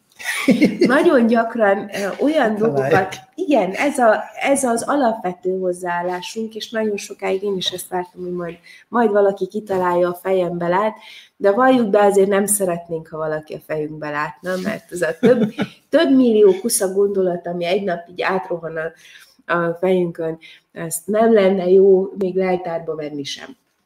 Szóval, hölgyeim, ha, és nem csak hölgyeim, uraim, tessenek elmondani ezeket a vágyakat, hogy mit, mit szeretnénk, mi, mire vagyunk kíváncsiak, mi az a dolog, amit szeretnénk kipróbálni. Például gondolok itt egy nagyon, nagyon egyszerű dologra, szeretnék úgy ébredni, hogy. Vagy szeretném, ha, ha éjszaka, amikor zivatar van, és esik, dörög, villámlik, akkor nem azt mondaná a, a párom, hogy anyukám, aludj már, mert hónap korán van, hanem csak úgy odahúzna. Nem biztos, hogy konkrét ö, ö, szexualitáshoz kötődő dolog van, de az intimitás elengedhetetlen ahhoz, hogy a szexualitás, és ezáltal az egységélmény, bocsánat, hogy már Így nem van. az orgazmusról beszélek, mert van ennél jobb is, az hát, egységélmény. Szóval, hogy ez, ez ki tudjon alakulni. Jó lenne a fantáziánkat elmondanánk, jó lenne, ha felvállalnánk azt, hogy, hogy mire vágyunk. Nagyon sokszor nem megfelelő hangulatban fogunk a, a házas élet gyakorlásához, és ezekben a pillanatokban vannak azok a konfliktusok, hogy én azt élem meg nőként, hogy én csak arra kellek, ez pedig egy olyan ég a kapcsolatban, ami akármilyen nagy szerelem is volt kezdetek kezdetén, szét tudja verni ezt az állapotot. Lesz rá biológiai válasz. Igen. szóval lesz rá biológiai hallgassuk, a, hallgassuk meg azt a négy epizódot is, és nagyon fontos lenne tisztában lenni azzal, hogy ez nem a egyéni szociális probléma, hanem ez két felet érint egyből, és fontos lenne, hogy odafigyeljünk az összes olyan akadályra, ami ennek a megjelenését semlegesítheti, vagy megszüntetheti. Nagyon sokat lehetne erről a témáról beszélni, de nézzük meg ennek a biológiai hátterét, az orgazmus, mint biológiai program, hogy jelenik meg nőknél, férfiaknál, kezesség függvényében. Megnézzük. Ez, hogyan igen. alakul az orgazmus? Van-e hát, különbség jobbkezes Természetes, most lesz világos, hogy mindaz, amit te a bevezetőben elmondtál, az miért jelenik úgy meg, ahogy te azt elmondtad. Itt vannak a biológiai alapok, Hammer doktor mindent kiderített. Ugye a jobbkezes nő az rendszerint hüvei orgazmust él meg, abban az esetben, hogyha ha a, nincs lezárva a ö, szexuális reléje, mert ugye a jobbkezes nőnek a női oldalra csapódik be a szexuális élménye. De ha van egy szexuális konfliktus, akkor nem tud oda becsapódni, akkor majd átmegy a túloldalra, és ez lesz az, ami már csak a klitoriális orgazmust fogja megengedni. De ha nincs, ha tiszta mind a két oldalt a birtokzóna, akkor kérem a jobbkezes nő mondjam úgy, hogy először megéli a hüvei orgazmust, és akkor ebbe betehetjük nyugodtan azt a bizonyos G-pontot, vagy a, a mészájnak az érintésével okozott élvezetet, de megfelelő hát, manipulációval a klitoris, orgaz, a klitoris orgazmusa is kiváltható. És akkor miről beszélek? Dupla orgazmusról. A balkezes nőnél is ugyanez a helyzet, nála a klitorisznak az orgazmusa az, ami e, nyilvánvalóbb, de ugyanúgy megéli a hüvei orgazmust is, és természetesen ez is dupla orgazmust jelent, Márpedig ennek az lesz az eredménye, hogy az epileptoid krízisben, tehát az orgazmus alatt a hüvei izomzat elkezd összehúzódni, rángatozni, és hát drága hölgyeim, ez egy olyan élmény, amire az urak nagyon hálásak, mert ugye a, a férfinak is megmarad úgymond a, a pénisze megfelelő állapotban. Ez olyan ingerként fog hatni. A jobbkezes férfi a péniszorgazmust éli meg, ami a magömlésben csúcsosodik ki, és ugyanakkor megfelelő stimulációval természetesen a rektális orgazmus is bekövetkezhet a baloldali relében. A balkezes férfinek viszont a szexuális élménye a női oldalra csapódik be, természetes, ezért van, hogy nála megvan az anális orgazmus, tehát végbél szintjén, de az ejakuláció is megtörténik, mert annak az elindítása mindig a jobboldali férfias birtokzónából indul el, tehát a dupla orgazmus adva van. És akkor most jönnek, ez ugye a tiszta, a normális eset, amikor különböző konfliktusok nem akadályozzák meg azt, hogy ez megtörténjen. De mi van akkor, ha fel nem dolgozott szexuális konfliktusaink vannak? Hát akkor nyilván, hogy a szexuális relé zárva van, ugye itt látjuk baloldalt a női, jobb oldalt pedig a férfi szexuális relét, illetve a jobb oldalt az egy birtok relé, a birtok vesztés konfliktusnak a reléje, de a szexuális relé is itt található. Nos, a fel nem dolgozott birtokvesztés konfliktusok lesznek azok, amik viszont ugye egy jobbkezes férfinak hát a merevedés elhalványulását fogják okozni, amit már nevezünk ugye egy impotencia coeundinak, tehát amikor nem teljes a merevedés. Miért? Mert szegény férfinak volt egy hatalmas vesztesége, birtok szinten, munkahelyi dolog, és este már nem, jó, nem tudja nyújtani azt a teljesítményt, amit eddig nyújtott. Ennyire egyszerű a történet. Na most a, a kettő együtt van, egy szexuális konfliktus, meg birtokvesztés konfliktus, és még teszünk hozzá egy elválasztási konfliktust is, akkor már tökéletes lesz a mutatvány, mert onnantól már tényleg nem fog működni az egész, az elválasztási konfliktusra az a mak nyálkahártyájára és a csikló nyálkahártyájára vonatkozik. Ezen a két nagyon érzékeny részen a nyálkahártya ős száj séma szerint működik, vagyis konfliktus aktív szakaszban fájdalmas. Nem úgy, mint a külső bőr, nem úgy, mint a hüvely. Ez két külön kis rész, ami pont fordítva van mondjam azt, hogy idegileg ellátva. És természetesen, ha valakinek fájdalmas az, ha a csiklóját valami megérinti, vagy fájdalmas, a makját valami megérinti, akkor nem igen fogja keresni a szexuális aktust, és frigiditásról fogunk beszélni, vagy korai magömlésről. De megtörténik a magömlés elmaradása is természetesen abban az esetben, ha egy balkezes férfiről beszélek, akinek megvolt a merevedés, megvan a behatolás, csak valahogy a magömlés nem akar összejönni. Ez is egy fajta úgynevezett impotencia. A szexuális konstellált állapotok, azok már azt jelentik, hogy dupla szexuális konfliktusa van. Nem úgy, hogy az egyik szexuális és a másik birtok, hanem mind a kettő szexuális konfliktus, vagy három, teljesen mindegy mindentől, és már az ismert szexuális viselkedés változások fognak beállni, mint a Koszanova meg a Nymphomán, de van egy külön webkonferencia erről, hogy hogy impotencia, frigiditás, Casanova, nymphomán, orgazmus, ezzel már foglalkoztam egy külön webkonferencián. Most erre így külön nem fogok belemenni olyan mélységekig, mint ahogy ott ez megtörtént. Aztán van olyan, hogy a nemi szerveket ért fizikai szintű trauma. Kérem szépen, vannak, akik, hát hogy is mondjam, igen vadul szeretkeznek. Finoman fogalmaztam, és hát bizonyos traumák érik a, a nemi szerveket, és tudunk olyanról is, hogy a pénisz eltörik. Tehát olyan helyzetbe kerül, hogy megtörik, lesz egy nagy vérömlény, és utána ez a pénisz már nem lesz egyenes, ez kérem szépen olyan lesz, mint egy kérdőjel, így viszont bevezethetetlen. Tehát ez, ebből már nem lesz orgazmus. Aztán a zavaró külső tényezőkről beszéltem, és nyilván, ha nincs jelen a pillanatban valaki, mert megteszi a házastársi kötelességét, és közben azt látja, hogy prókálózni kéne, akkor ne csodálkozzon, ha fehér folyása lesz. Tehát ezek a leggyakoribb dolgok, amik gátolják az orgazmust, természetesen még biztos találhatunk egyéb tényezőket is.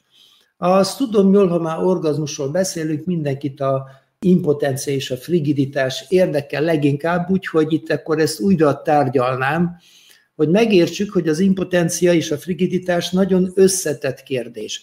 A szakirodalom elismeri, hogy lelki háttér van mögötte. Na, mit ad Isten? Van lelki háttér. Na, és mit adnak rá gyógyszert. Na, a gyógyszerrel nem fogjuk ezt megoldani, akár milyen kék tablettát is bevehetünk, a lelki hátteret a kék tabletta nem fogja megoldani. Ugyanis miről beszélünk?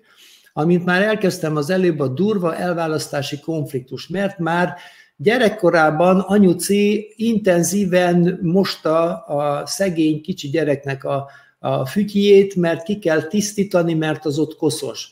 Én nem emlékszem rá, hogy anyám hozzányúlt volna, azt mondta, hogy te nagyfiú vagy, itt a szappan, most megmagadnak, és kész.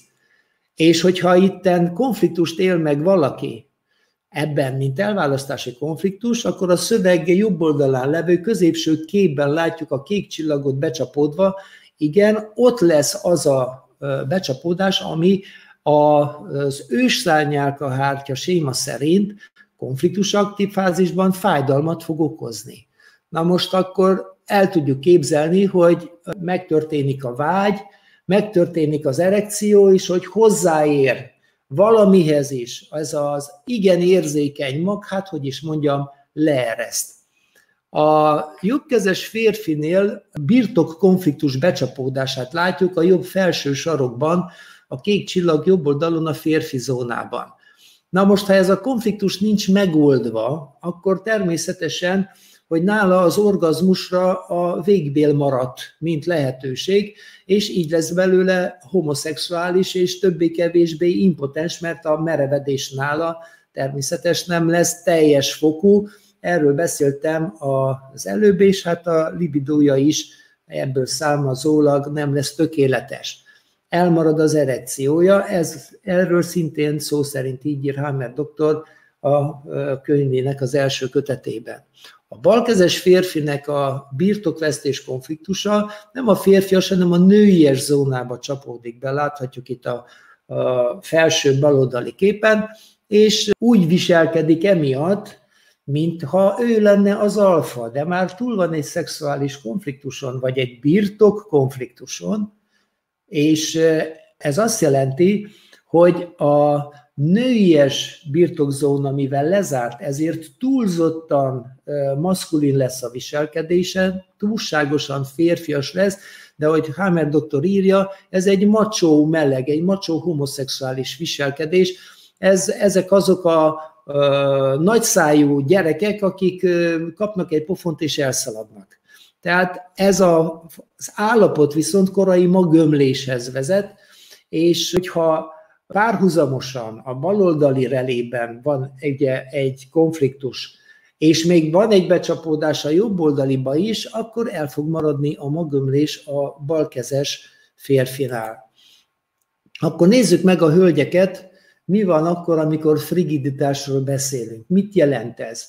Amint a maknál is mondtam, hogy a a csiklónál is előfordul, az a megérintése, kellemetlen megérintése a csiklónak, ami emléként ott marad, el akarok ettől választódni, tehát amikor hozzáérnek a csiklomhoz, már fájdalmam van. Na most egy ilyen hölgy vágyni fog valamilyen szexuális aktusra? Természetesen nem, és a viselkedése olyan lesz, hogy lerázza magáról a közeledni vágyó embereket, és akkor azt mondják, hogy olyan vagy, mint egy frigider. Viszont, ha a jobbkezes nőnek, és ezt a jobb oldali kép, jobb felső képen látjuk, ugye, ha a jobbkezes nőnek van már a szexuális relébe egy becsapódott konfliktusa, akkor már képtelen lesz a hüvei orgazmusra, viszont megmarad, a klitoriális orgazmusa természetes, ha azt ugye elválasztási konfliktussal nem tették tönkre. És ez a lényege a dolognak, hogy utána ő erre vágyik. És ha nem csinálják, csinálja magának. Erről volt szó a másik előadásban, a 18 pluszas Dianita esetéről, ugye, hogy a lányok Csiklónak a, a gerjedésével, gerjesztésével érték el azt a kellemes érzést, amit elértek. És a szerelmi játékban ő férfias módon viselkedik, mert ő csak ennyit szeretne, hogy foglalkozzanak a csiklójával. És a férfi ember viszont ennél többre vágyik, és ez, ezért minek fogja nevezni, megint csak ő lesz a frigid, de ezt erre még rá is játszik a hölgy, hogy, hogy azért kell vele annyit foglalkozni, mert ő különben, mondjam úgy, hogy nem tud bemelegedni. Tehát innentől kezdve világos, hogy biológiailag mi a helyzet. A balkezes nő szexuálisan blokkolt, de úgy, hogy a jobboldali relébe, a férfias zónába csapódik az ő szexuális, első szexuális negatív élménye, és ezért ő befelé forduló depresszív viselkedésű lesz, ugye tudjuk, ha kislánykorában történik, hamarabb is megjön a menstruációja, de nem lesz neki meg a csikló orgazmusa, viszont meg lesz a hüvei orgazmusa. És valójában könnyebben is esik teherbe, mert a női szexuális relé az teljesen nyitott. Tehát ha megértjük azt, hogy amikor bemegyünk a hálószobába, akkor nem visszük magunkkal a történetünket. Nem az számít, hogy mi volt, hanem az számít, hogy vajon mi fog történni, mi jó, mi jó fog történni. Drága hölgyeim és uraim, a múltunkat, a, a történelem könyvünket ne vigyük be a hálószobába. Ha meg tudunk jelenni a pillanatba, és tudunk örülni annak, ami van, az a jó hírem, hogy ezek a relék megnyílnak. Ezek a relék addig zártak, ameddig mi zárva tartjuk. Amikor elengedjük ezeket a kellemetlen dolgokat érzelmileg, akkor ezek a gátak, hogy úgy mondjam, felszabadulnak, és mindenki megélheti már biológiai szinten is a kettős orgazmust. Tehát egyértelmű, hogy a kettős orgazmushoz eljutni a legegyszerűbb az egységélmény által. Természetesen egységélményt egy ölelésben is meg lehet tapasztalni, és ha még ez hozzájön a szexualitás, hát akkor az, az tényleg nem lesz kétszer ugyanaz. A várandóságban megélt konfliktusok, azok ugye nem a várandósággal járó betegségek, mert ugye vannak ilyen elérhető címek mindenfele, mert tegyük, mert tegyük azt, hogy megtörtént az aktus, és várandós lett a hölgy. Mondom, várandós lett, és nem terhes. A kettő közt hatalmas a különbség. Mi történik a várandóságban? Megváltozik a hormonális állapot, és ezáltal megváltozik nyilvánvaló a viselkedés. Erről is külön beszéltem még. Ha megjelenik a hüvelygomba, mert most végigvehetnénk az egész táblázatot, de csak néhány, mondjam azt, hogy gyakori történetet fogok ebből az egészből kiemelni, mert gyakorlatilag amire nem kerül sor, vagy nem, nem kerül be a előadásba, azt majd megkérdezik a fórumba, és akkor ott fogok válaszolni mindenkinek ezekre a kérdéseire. Tehát miről szól a hüvelygomba? Erről már érintőlegesen beszéltem, én mindig úgy mondom, az a probléma, hogy prostituálom a lelkem. Tehát megteszem, mert meg kell tennem, de különben nem vagyok jelen a, a, a, a dologban. Szóval vannak durvább történetek is, amik ugyanide vezetnek. Teszem azt, valaki éppenséggel a férjével szeretkezik, és az az érzése, hogy megcsalta a szerelmét, a szeretőjét. Hát szóval ezek már extrém dolgok, de nem azt jelenti a hüvelygomba, hogy minden esetben erről lenne szó. Nehogy félretessenek engem ebből a szempontból érteni. Nem erről van szó. Arról van szó, hogy elég, hogyha csak ocsmány szavakkal dobálóznak a, a házastársak egymás felé. Tehát ahol a pénisze quini az minden mondatnak a pont a végén, és akkor az equinus az lovat jelent. Tehát mindenki tudja, miről van szó. Ne essünk tévedésbe, de amikor egy még szűz kislánynak fehér folyása van, az azért van, mert a családban a, a, a beszéd stílusa, hát hogy is mondjam, semmilyen nyomdafestéket nem bírnak ki.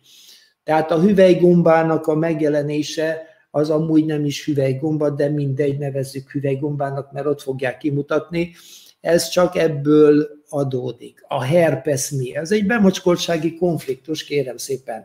Na most, hogyha egy, e, a megváltozott hormonális állapot miatt a nő már nem a szexualitásra vágyik. Tehát mondjam azt, hogy hormonálisan idézőjelbe férfi. Semmi kedve nincsen neki már a dolgokhoz, ő már befele fordul, a gyerekkel van elfoglalva, és hát ugye a férfinak meg vannak igényei, és azt mondja, hogy legalább akkor ezen a szinten oldjuk ezt meg. Természetes, hogy herpeshez fog vezetni, de herpeszt más úton is meg lehet élni természetesen, akár várandós valaki, akár nem. A bemoskoltsági konfliktus herpeszt fog okozni, még akkor is, ha azt éli meg, hogy micsoda mocskos szavakat használt az illető, vagy mondtam én éppen ki, és ez a probléma. Félelem a megbetegedéstől, hát ez a legtökéletesebb félelem, ugye, és ez el tud vezetni egészen a pánikig, de tudjuk nagyon jól, hogy amit megbetegedésnek nevezünk, az már éppen gyógyulási folyamat, szóval nem a megbetegedéstől kéne félni, hanem megőrizni a lelkünk nyugalmát, mert a lelki megrázkodtatások lesznek, amik elindítanak egy biológiai programot. Na de jön a járvány, ugye, emlékszünk? Hát ezért tartottam a karantén alatt minden este webkonferenciát, hogy ne legyen félelem a lelkünkben, zárjuk le félelem nélkül a napjainkat boldogan, valamilyen kellemes dallammal a fülünkbe, és akkor nem betegszünk meg. Az influenza pontosan erről szól, minden tünete, mert ki akarom szagolni, mert már elkaptam, és féltem az egészségem, és megvan minden tünet, ami az influenzához kell. Az AIDS, Hammer doktor írt egy könyvet, hogy az AIDS nem létező betegség, mert az AIDS gyakorlatilag egy allergia. Annak az illatának, anyagnak az allergiája, ami hát a szexuális aktus után egy hálószobában érezhető. Ez a smegmának nevezett illat, és mindig mondom, hogy nem egy francia parfüm illata, de a biológiának ez az illata. És hogyha ezzel az illattal kapcsolatban van valakinek egy kellemetlen élménye, akkor természetesen, hogy a smegma allergia kimutatható lesz, mint AIDS pozitív teszt. Mondom, egy egyszerű allergiáról beszélünk, mintha azt mutatnák ki, hogy parlagfűre van allergiám, vagy ételallergiám van. Ennyi az egész. A liszteriózis, meg minden fertőzött élelmiszer természetesen nem csak a várandós, hanem minden más embert is megbetegít, nem kell itten messzire menni ezekkel a dolgokkal, oda kell figyelni arra, hogy mit fogyasztunk, és hogyha az állati eredetű élelmiszert nem fogjuk nyersen fogyasztani, akkor a lisztériózistól nem kell félnünk, mert hőhatására ez elpusztul már 75 Celsius fokon, ha négy percig az a hús ebben a melegben van, a lisztéria belőle elpusztul természetesen, de a lisztéria nagyon szereti a hideget is, úgyhogy arra vigyázunk, hogy öt napnál tovább ne tároljuk a hűtőbe az ételt, mert megjelenik benne a lisztéria, illetve hát amikor nincs benne elegendő akkor semmi bajunk nem lesz, de ha már igencsak, igencsak nagy mennyiségű benne ez a baktérium, hát akkor természetes, hogy ez nem egy értelmes biológiai külön program, hanem itt arról van szó, hogy egy ételmérgezést szenvedtünk el. Ezért nem csak a várandós anyukának, hanem mindenkinek, mindenkinek ajánlatos odafigyelni arra, hogy jól meg kell sütni, jól meg kell forrósítani, stb. stb és hát a light sajtokat, meg a, a nyers tejet azért ne tartsuk hetekig a hűtőbe, bár amit teljes dobozba veszünk, ahhoz, annak nem tudom mennyi köze van még a tehénhez. Szóval ott tartunk, hogy ezeket a, dolgokat, ha betartjuk, akkor se lisztériózis, se semmilyen más élelmiszer által okozott problémánk nem lesz. Aztán ide jön a paraziták. Ugye a kokcidiózis vagy toxoplazmózis a másik, és még van egy csomó parazitózis, ez is egy külön tantár. Kérem szépen, ezeket, ezeket el lehet kerülni, csak az állatokkal való kontaktus után illik a kezünket alaposan megmosni, és a, a, a kerüld a kóbor macskákat történet valószínű, ezt azért írtam ide, mert emlékszem rá, hogy a várandós anyukáknak mindig ezt mondták gyerekkoromban, hogy ne nyúlj a macskához, hogyha terhes vagy.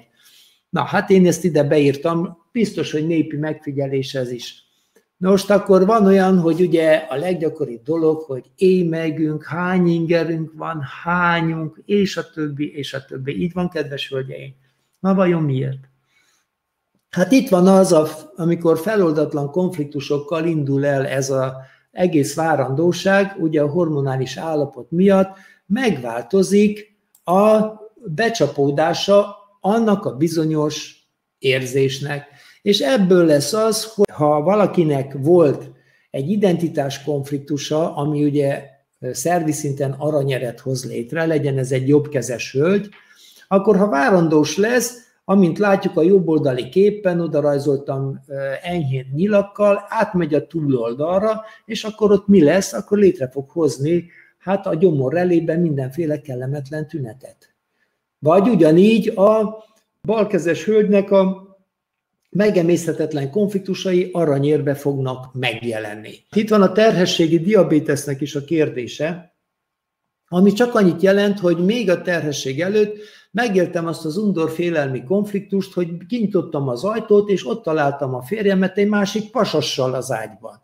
Na kérem szépen, egy ilyen történet után, amikor kirázott a hideg, vagy lehetett az bármilyen más történet, amitől meg is undorodtam, meg meg is ijedtem, de nincs lezárva, a várandósággal ugye a kék csillag a baloldali képen mondjam úgy, hogy áttelepszik a jobb oldalra, és kialakítja az a diabéteszt.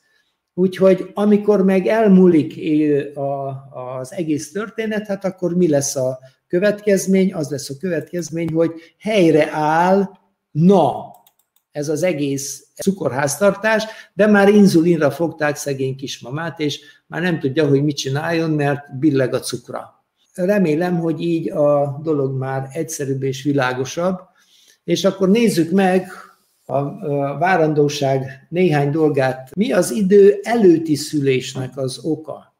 Ugye mindig mondom, hogy a félelem az egyetlen halálos betegség, de a félelem az az egyetlen dolog, ami ki tudja billenteni a egyensúlyi állapotából még a várandós nőt is. Mivel? Minden félelemre egy szimpatikus idegrendszer túlsúly fog fellépni, és ez előtérbe hozza az epileptoid krízist, vagyis a szülést, mert a szülés az az epileptoid krízist jelenti az egész történetben. Úgyhogy ha valakinek az a félelme, hogy, hogy én ezt már nem bírom ki, és hallottam ilyet, hogy vegyék már ki belőlem ezt a kölyköt. Igen, dolgoztam szülőszeten is, és hat hónapot, és igencsak kellemetlen, meg kellemes élményeim is vannak erről a hat hónapos gyakorlatról. Szóval él, fantasztikus, hogy, hogy milyen különbözőképpen áll hozzá egy nő egy várandósághoz. Ahogy a nőgyógyász tanárom mondta, egy nő a szülészeten vizsgázik abból, hogy valójában milyen ember ő. A hetedik, nyolcadik hónapban meg lehet élni, kérem szépen, tökéletes orgazmust, csak ugye ez a biológiám számára azt jelenti, hogy eljött a szülés ideje, és beindítja a szülést. Ez még hozzájön az is, hogy az orgazmussal ne feledjük, hogy hormonális hatás is van, oxitocin is felszabadul, és az oxitocin az pedig beindítja a mély izomzatnak az összehúzódását. Tudunk róla, ugye, hölgyeim, hogyha be akarják indítani a szülést, akkor oxitocin infúziót kötnek be. Aztán van olyan ismerősöm is, aki azt élte meg, hogy te jó, én képtelen vagyok egy gyereket kihordani.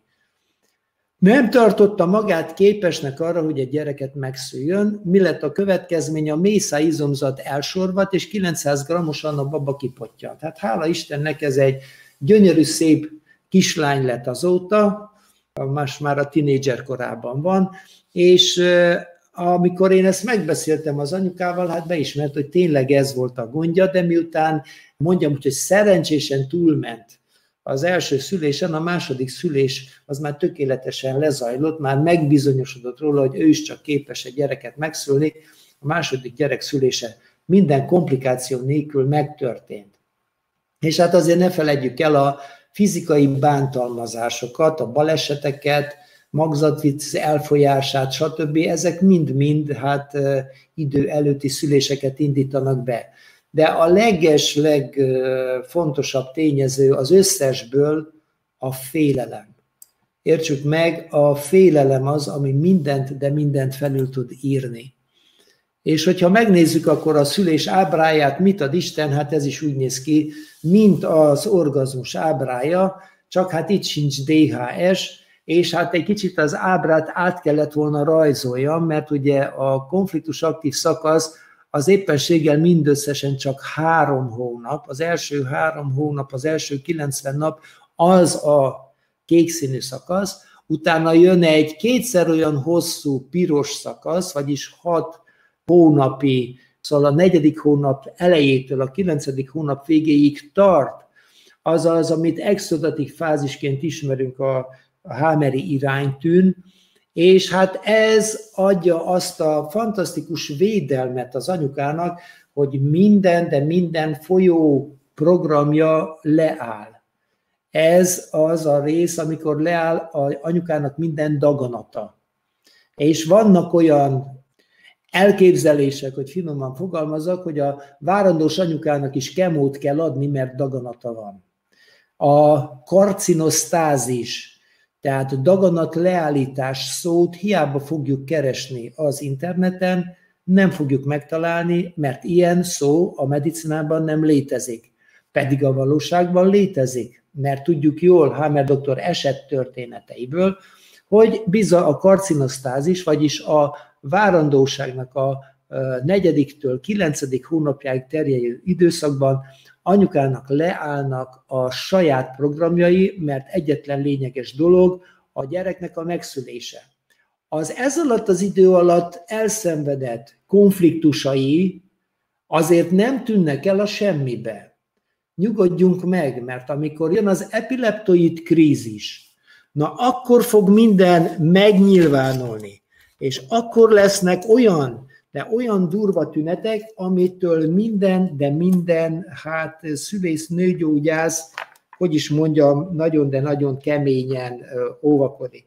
Ezek lesznek azok a helyzetek, amikor a szülés alatt mindenféle komplikációk föllépnek, mert hát az epileptoid krízisben az addig felgyűlt konfliktusok hát mind egyszerre mennek át a megoldásba és az epileptoid krízisbe.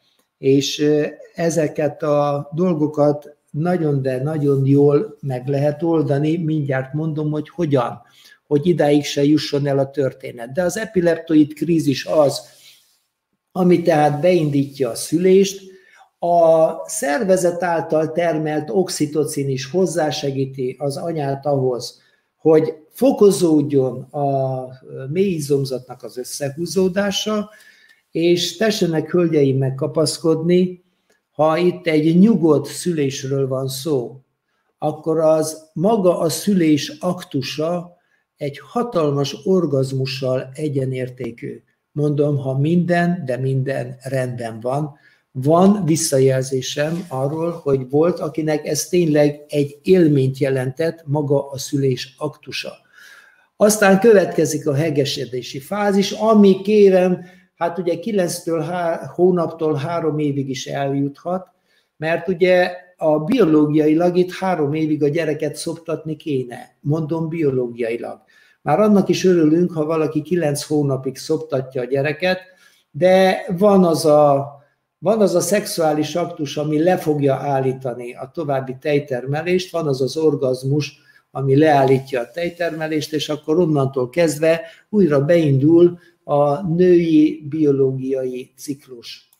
Nos, a My Studenten Méhen az a csoda, ami fantasztikus segítséget tud nyújtani a nő számára végig az egész várandóság alatt és után. Ugye tudjuk jól, hogy a konfliktus aktív szakaszban levő konfliktusoknak a tömegét letransformálja, ha agykérgi konfliktusokról beszélünk, és ide nem csak a birtok konfliktusok tartoznak, hanem minden agykérgi konfliktus, látás, hallás, stb. Viszont, hogyha önleértékelés, támadási konfliktus, falatkonfliktus vagy aggódás lép föl, akkor kérem szépen benyomja a satuféket, és már leállítja magát a konfliktust. Segíti a magzatot az egészséges fejlődésben az anyaméhen belül, és ott van a fájdalommentes szülés, amit nem győzök kiemelni és aláhúzni. Tudjuk nagyon jól, hogy a hetes esettörténet a Májstudenten Mékenből, az pontosan a terhességi pszichózisról szól, és ebben végig elmondtam, hogy mit tett ez a csodálatos dallam, hogy hogy akadályozta meg a vetélést, hogy hogy hozta be a magzat a lemaradt súlyát, és hogyan szült az anyuka úgy otthon, hogy minden fájdalom nélkül tágult 10 centire a mészáj, és egyetlen toló összehúzódással, amit ugye tolófájásnak nevezünk, tehát egyetlen mozdulattal a gyereket megszülte. A bába csak csodájára járt annak, hogy ez így volt. És vannak, akik már ezt megtapasztalták, mert hallgatták a más studenteméket, régebben tanfolyamra járó hölgyek, és megtapasztalták azt, hogy a más studenteméken tényleg egy csodálatos dallam. És hogyha hallgatjuk a más studenteméket a szülés után is, akkor természetesen nem fogunk az epileptoid krízisben semmi különöset megtapasztalni, és segíteni fog nekünk a megoldási fázisban is ez a csodálatos dallam, hogy a programjaink kifussanak, de ne feledjük, hogy tőlünk függ minden. Zárjuk le békével a napjainkat, tudom, hogy már unalmas, de akkor is ez a legfontosabb, hogy ezt megcsináljuk, és akkor nem lesz szükségünk semmilyen beavatkozásra. A természet már régen, évmilliókkal ezelőtt kitalálta, hogy hogyan lehet kérem szépen fájdalom nélkül szülni, hogyan lehet komplikációk nélkül szülni, és az az anyuka, aki várandóságot él meg, és nem terhességet, és hallgatja a más studenten méghent, annak minden, de minden esélye megvan arra, hogy a legnagyobb nyugalomban és a legnagyobb örömben élje meg ezt a kilenc hónapot, és fájdalom nélkül történjen meg a szülése. Ennyit gondoltam összefoglalni. Ebben a témában bár sokkal, de sokkal több dolog beleférne, én ezzel nagyon is tisztában vagyok. A lényeg, hogy megértsük, hogy a germán gyógytudomány tehát nem azokra a tényezőkre mutat rá, amire a mai medicina. Nem a külső tényezőktől függ, hogy én megbetegszem vagy nem, hogy hány kiló vagyok, hogy mennyit futottam, vagy nem futottam, hogy férfi vagyok, vagy nő vagyok, vagy nőtlen, vagy nős, vagy ezek nem számítanak.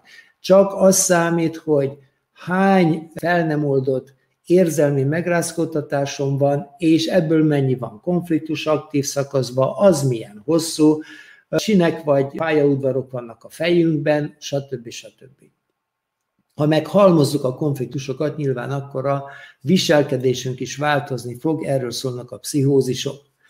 Tehát ha feloldjuk, ha feloldjuk ezeket a konfliktusokat, akkor a valós okokat fogjuk megszüntetni, és nem a tüneteket kerez, kezeljük, kezeljük egy életen át, életfogytig tartó gyógykezelés, hát ez kérem, annak életfogytig tartó, aki életfogytig nem akar békét kötni önmagával és a világgal. Annak a gyógyszerszedés életfogytig tart. A germán gyógytudomány tudomány kiszámítható, előrejelezhető és reprodukálható. A reprodukálhatóság a legfontosabb meghatározója annak, hogy valamiről azt mondjam, hogy tudományos vagy nem tudományos. Márpedig Hammer doktornak a téziseit senki még nem tudta tudományosan megcáfolni, a kötpiszkálókat és a szkeptikusokat csak arra tudom biztatni, hogy Hammer doktor eredeti anyagait olvassák, és nem azt, amit a sajtóban találnak Hammer doktorról. Nem kell statisztikát készíteni, nem kell állatkísérletet végezni ahhoz, hogy a, ezeket a dolgokat megismerjük, hanem csupán érzelmileg kell feloldani konfliktusokat, vagy szenvedhetek tovább tudományosan. El lehet dönteni. Tehát kérem szépen, hogy a témával kapcsolatos kérdéseket tegyük föl, Nyilván a többi kérdést is be lehet írni, de lehet azt a lehetőleg azt a végére, és egyszerre egy kérdést fogalmazunk meg lehetőleg röviden. És nagyon szépen kérek mindenkit, hogy a GNM témakörétől eltérő kérdéseket ne írjanak be, azokat figyelmen kívül fogom hagyni. Köszönöm a figyelmét mindenkinek.